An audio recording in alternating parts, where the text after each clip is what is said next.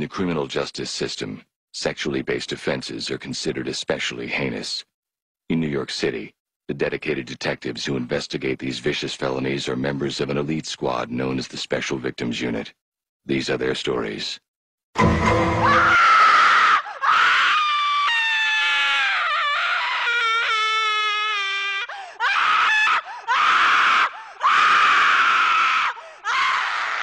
Nah, nah, nah, come on.